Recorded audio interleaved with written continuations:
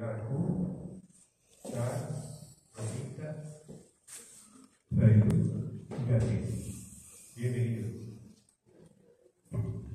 Bueno, siguiendo con nuestro programa, ahora le voy a pedir a Ana que nos haga un favor de platicarnos un poco de los recuerdos de la iglesia de los barquillos.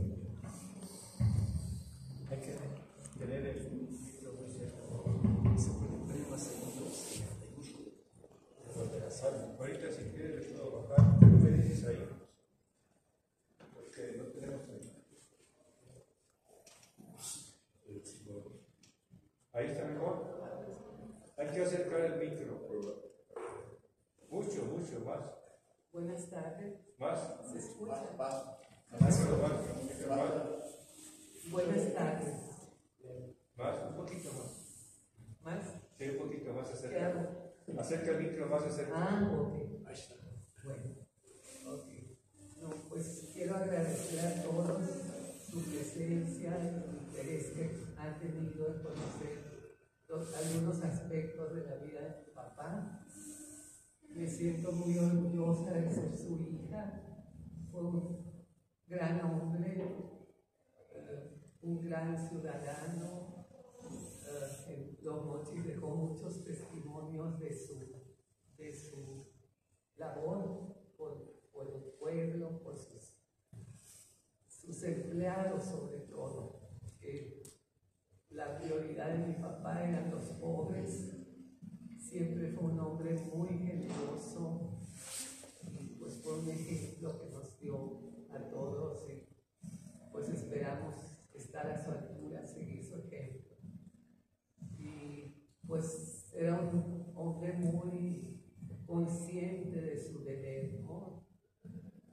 El deber ante todo papá, aunque hacía- hacía estragos, este, con su sentido de deber, ¿no? Les voy a contar una anécdota que, que nos tocó vivir a la a mí. Cuando fue a pedirme mi esposo para casarnos, le iba a decir a mi papá que nos íbamos a casar. Este, eh, le dijo mi, mi papá, y ya lo pensaste, muy bien, la conoces. Tengo que hacer la aclaración que yo fui la oveja negra de la familia, la rebelde. Entonces mi papá pues se sentía con el deber de advertir y por poquito me deshace el matrimonio, no estaríamos aquí. Pero afortunadamente, digo, yo porque me conocía, pero era el deber de mi papá, ¿no? Él, él lo sentía así. En, en fin.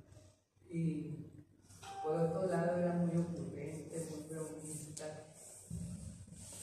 Había un peluquero en los mochis, un viejito con el que se iba a hacer el pelo. Y era muy platicador. Y eh, llegó mi papá un día, me dice, don Martín, ¿cómo le hago el pelo? Callado. Y así era muy, muy ocurrente, ¿no? Y yo quisiera pasar el, el micrófono a mi esposo porque yo tengo pánico escénico y él es más, más hablador que yo. Yo escribo pero no hablo. Aquí se lo voy a pasar y muchas gracias nuevamente a todos.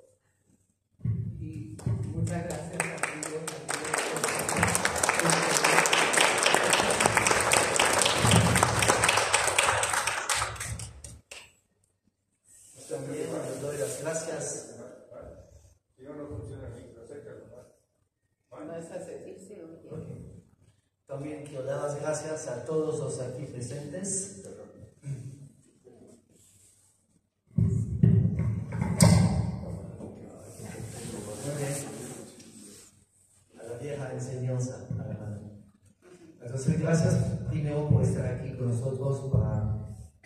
modo, rendir un homenaje a Don Martín, que fue un ser excepcional en Mochis y yo creo que a nivel eh, estatal y hasta nacional, puesto que su actitud, sus acciones le hicieron gran amigo de Chedelina, eh, por el cual también nos dio la mano para que nos pudiéramos casar, porque de la misma manera que Ana, su papá me dijo, ya sabes con quién te casas, sí, sí, sí, sí, ya sabes, sí, sí, sí, es un caballo desbocado.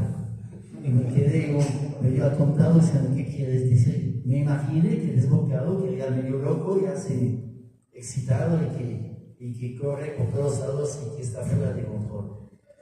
Y eso siguió porque cuando eh, venían a la boda mis papás, mis tíos, eh, antes de eso, lo de papeles, yo era francés con un FM2 aquí en México, en una empresa francesa, un laboratorio, y cuando pido mis papeles para que sea método estaba listo, pero no me dan el permiso, no me dan el permiso, no me dan el permiso a la mexicana, a la mexicana.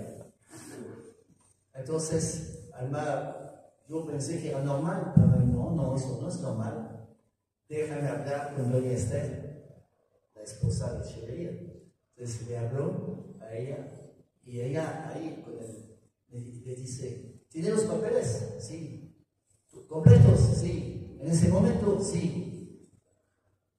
Un segundo. Y después de 20 segundos, ya lo están esperando en población con el director, le a dar sus papeles a la mexicana. Y después, ya con eso, yo estaba pensando que ya estaba terminado el problema y que ya tenía todo listo.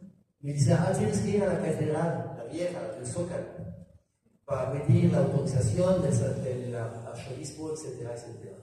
Ah, dije, no, no se tiene que publicar con un cura en la iglesia de nosotros. No, no, no, así tiene que ser. Voy, digo, me quiero casar tal fecha, no se va a poder. ¿Cómo que no se va a poder? No se va a poder. ¿Pero por qué? Yo creo que no se va a poder. Platíqueme un poquito más. Viene mi mamá, mi papá, mi tío, mi tía, etcétera, etcétera. Ah, si vienen ellos, entonces que platiquen conmigo. Lo que tienen pánico en, ese, en esa época, y creo que sigue la cosa, el doble matrimonio uh, ante la iglesia, allá y aquí. Para evitar eso, que estar seguro de que mi mamá, que ya se suponía me controlaba, entonces sí podía asegurarles de que no, no estaba casado en la infancia y que me quería volver a casar. Eso son una, nuestras pequeñitas anécdotas que explican por qué estamos aquí. Tomé mis amigos de escuela cuando vine aquí, yo de becado, éramos 13. Y los 13 que estaban aquí decían, lo supe después, a Alan y a Alma, les damos, ¿cuántos años? Un año. Un año de matrimonio. Y ya festejamos más de 50. Y con mucho, con altas y bajas, pero muy, muy a gusto. Y de cierto modo me sentí acogido en una familia nueva. No compensa la que yo dejé allá, pero sí me, me, me recibieron con la mano en el corazón, tanto mi suegro como mi suegra y las cinco hermanas de mi mujer y su hermano. Y yo aprendí mucho. Veníamos cada Navidad, cada Pascua, cada vez que había una boda, unos 15 años, un compromiso, lo que sea. Me integré a la familia. Cuando yo llegaba, me esperaba al aeropuerto con su vieja camioneta, me llevaba a su campo y se mira, eso es tomate, eso es tomate. Y vale mucho. ¿Por qué? En Florida aún no da la cosecha. Y en California ya se quemó, así que vale mucho. Le, lo disfrutaba de enseñarme sus, sus cosechas, que yo en París nunca había visto una cosecha de tomate allá, el tomate es un, un, eje que ha plantado la tierra y trepa y se cosecha dos, tres, un kilo por barra. Y aquí en el suelo mexicano de los mochis, con irrigación, con fertilizante, se cosechan muchísimo más. Y aprendí de la agricultura, aprendí de la vida mexicana. Don Martín fue un ejemplo para mí, bonito ejemplo, porque sí, eh, en el campo era la adoración de sus obreros, tenía 300, 500 obreros, les puso médico, les puso enfermera, les puso eh, curaciones preventivas, chequear un precursor. En el campo ahí perdido a 20 kilómetros de, a, medio camino entre Topo y, y, Los Mochis. Y tenía ahí un doctor que se llama León de Garay, cuyo hijo está aquí. Toño, levante la mano para que te veamos. Aquí el arquitecto Toño de Garay, es su hijo. Y el, el papá estaba haciendo su servicio social y lo estaba haciendo en una escuela. Y Don Martín le dijo al, al León de Garay, aquí en la escuela no necesitan médicos, son niños bien, que tienen bastante dinero, no hay problema. ¿Por qué no vienen al campo, donde no hay dinero? Hay mucha gente, hay mucha pobreza, hay mucha demanda de, de cuidados médicos. Y se vino y se quedó. Venía por meses, se quedó dos años. No sé qué mano tenía Don Martín, pero tenía la mano especial. A mí me llevaba, porque era el jovencito novio de su hija, etc. Me llevaba al banco, el Banco Nacional, que era el más importante del pueblo en ese pueblo, porque tenía, empezó con 9.000 habitantes cuando llegó Martín allá. Y ya cuando yo, eh, los años que apareció en 67, ya debía tener más de 100.000 habitantes. Pero entonces, me, el director del banco nacional donde él tenía su cuenta y era la cuenta importante de los clientes importantes. Era Rubén Aguilar, el director general del banco. Y Rubén Aguilar, no sé si fueron las circunstancias de la vida, pero terminó director general de Baramex a nivel nacional y también presidente de la Asociación de los Banqueros. O sea, parece ser que don Martín atraía la gente importante, siendo él importante y siendo muy notable. Y casi siempre se adelantaba las cosas. A mí me contaron cositas que difieren un poquito de lo que en el libro, perdón, eh, eh, Carlos, porque yo le pregunté cuando lo liberaron, eh, yo estaba en una, una convención en Nueva York, entonces no, no, les quiero anticipar, pero en el libro se comenta que lo secuestraron en el año 77, eh, si no me equivoco. Y eh, parece ser que Don Martín se salió con la suya, porque lo liberaron sin que pagara la ransom por circunstancias especiales, no porque no quiso o no pudo, mandó dinero otra vez a su hijo, pero se dilató, llegó tarde porque había eh, unas uh, colectas de la Cruz Roja y los otros lo tomaban a mano, obviamente. Y finalmente lo, lo, lo, lo secuestran, pero intervino Echeverría, intervino lo, el Estado, intervino 20.000 gentes y lo pudieron salvar de un maltrato mayor, psicológico o físico, y sin pagar. Y cuando yo regresé en Nueva York, me voy a Mochis para hablar con toda la familia, saludar, darle su abrazo, todo. Y le dije, ¿cómo le hizo Martín? No, no, no, no, no, es que la policía atendió muy bien y eh, los teléfonos. ¿Los teléfonos? Sí, sí. Sospecharon de todos, inclusive de ti. Yo, estaba en Nueva York, no le hace, también te sospecharon. Dije, no, conmigo no podía ser. ¿Y por qué no? Yo no lo suelto sin que pagar.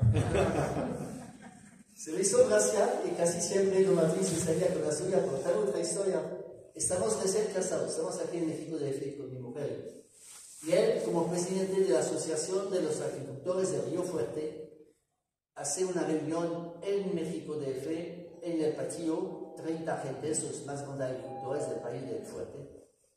Y buena comida, buena conversación, había gringos, había mexicanos, yo era el único francés aquí, y me preguntaba muchas cosas y, yo me dijo, no le digas, no le digas, no quiero que, que empiecen a hacer cuentas los americanos, no le digas. Yo quería que dijera la producción, el rendimiento, etc. Lo que yo había pescado de información por pequeños pedazos. Y entonces estamos en esa comida, Martín, estás a su derecha Alma, y yo estoy al lado de Alma, es una larga mesa, y al ratito me dice Alma, me hace una señal con el codo, realmente, sí, ¿qué pasa?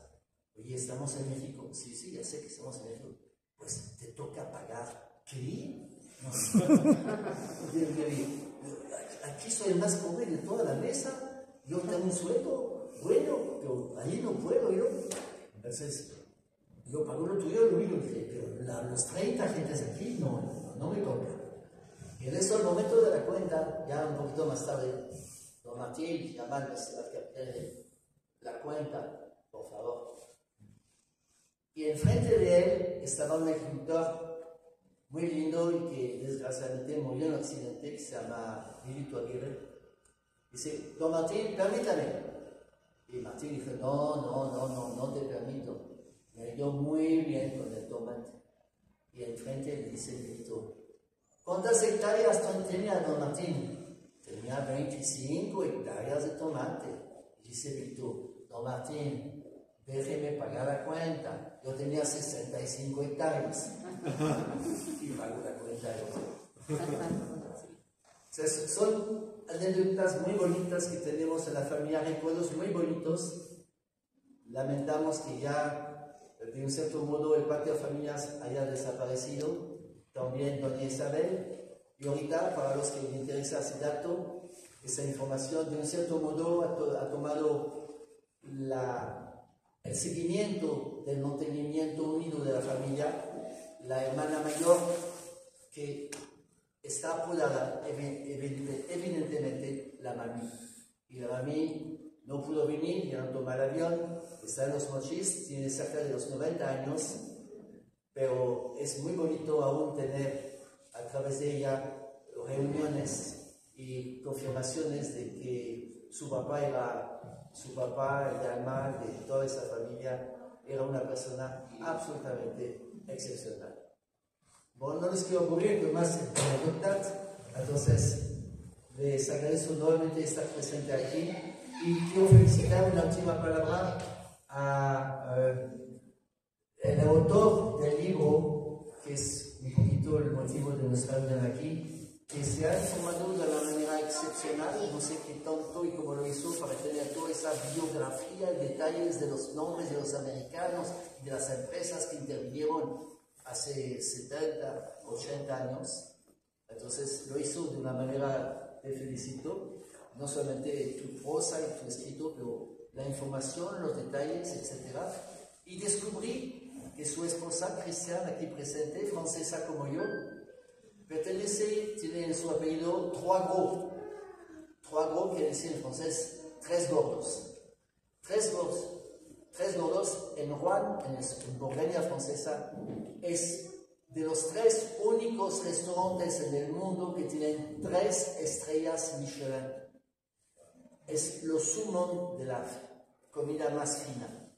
Entonces, yo no sabía hasta hace poco que ya estaba aparentado y entonces la felicito por ese parentesco. Gracias. Hasta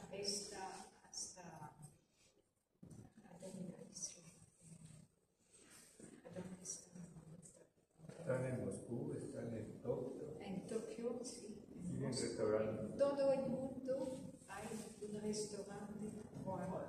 Sí, Trois se ha expandido y eh, no sé si tienen cada uno de sus sucursales tres estrellas, pero a nivel mundial son menos de cinco, a nivel mundial. Y obviamente la comida es carísima. Fuimos a Alma y yo a pasear por allá de, de recién casados cuando ya me estaba empezando a ver bien. Y eh, me, me, gustó porque la cocina medía 20 metros de largo frente al jardín. Su jardín potager tenía hierbas, tenía frutas, tenía legumbres, tenía todo. Era para él un paraíso co cocinar frente a su jardín. Y atrás estaba el restaurante con uh, puros cristales.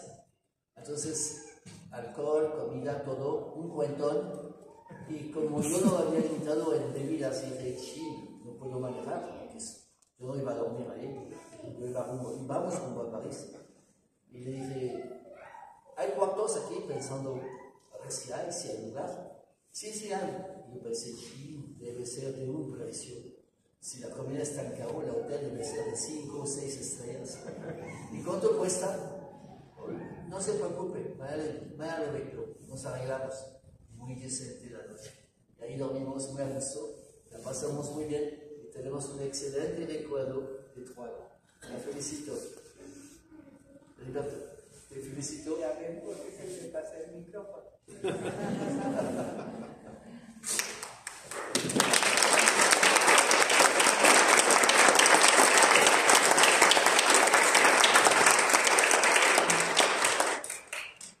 Muy bien.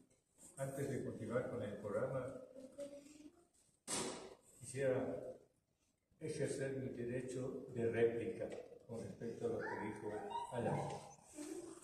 Eh, cuando platicó sobre las dificultades para conseguir, para conseguir el, el dijo él que se había retrasado bastante a la mexicana, ¿verdad? Yo le quiero decir que lo mismo me pasó a mí en París. También se retrasaron para darme permiso para casarme. Entonces yo iba ahí a la, a la, a la "Oye, ¿qué pasa con mi permiso? ¿Cuándo me lo van a dar? No, pues no se puede, no les podemos dar el permiso todavía. ¿Y ¿Por qué no me lo pueden dar?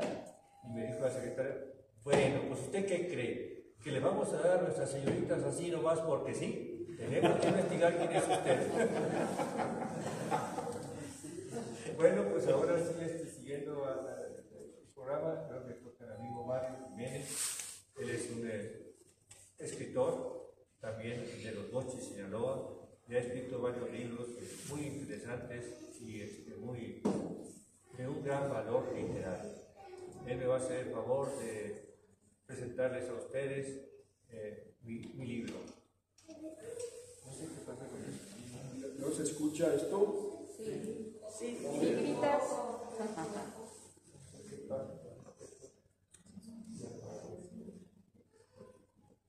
Yo siento que se me va a sacar de la boca. ¿no? Órale, Bueno, se apagó. entrada, el autor Carlos Rigoberto Luna Urquides nos lo advierte. Algunos personajes mencionados en esta obra son figuras históricas y ciertos hechos de los que aquí se relatan son reales. Sin embargo, esta es una obra de ficción. Todos los otros personajes, nombres y eventos, así como todos los lugares, hechos, organizaciones y diálogos en esta novela, son o bien producto de la imaginación del autor o han sido utilizados en esta obra de manera ficticia. Entonces, podemos decir que esta no es una biografía de Martín Estrada, sino una obra de ficción en la que intervienen, si bien personajes y hechos reales, también otros que son novelarizados, esto es, personajes de ficción. Esto es muy importante para situarnos en el contexto de la misma. Bien, entonces podríamos decir que esta es una especie de novela histórica, género muy en boga en estos últimos tiempos, no solo en México, sino en casi todo el mundo. Los Mochis, Sinaloa, ha sido una ciudad en cierto sentido relativamente joven, pues apenas cuenta un poco más de un siglo de existencia como tal, localizada en un lugar de geografía muy estratégica. ¿A qué me refiero con este dato? Pues a que está a solo aproximadamente 20 kilómetros de un puerto en el mar de Cortés, Topolobampo, y en un entorno ideal para que a él, con la infraestructura adecuada, puedan arribar embarcaciones de todo el mundo, principalmente las del continente asiático oriental, lo cual es ideal para propósitos mercantiles, desde luego. Y no solo eso, sino también se encuentra relativamente cercana a la frontera estadounidense y en la cual desde hace tiempo el flujo no solo de personas, sino también de mercancías ha sido sustancioso. Y todavía más importante es que sus suelos han sido propicios para la siembra y cosecha de gran número de granos, legumbres y vegetales para la alimentación, pues aquellos están cercanos a uno de los más caudalosos ríos del norte de Sinaloa, Sí, me refiero al río Fuerte, el cual a la fecha cuenta con tres grandes presas. Todo lo anterior sirva nada más como una referencia para decir el por qué fue un polo de atracción de personas no solo de otros estados de la República Mexicana, sino también de inmigrantes que decidieron trasladarse a residir en la ciudad de Los Mochis. He aquí el entorno en que se sitúa esta novela histórica, esto es, la historia, si bien novelada, de su personaje principal, don Martín Estrada.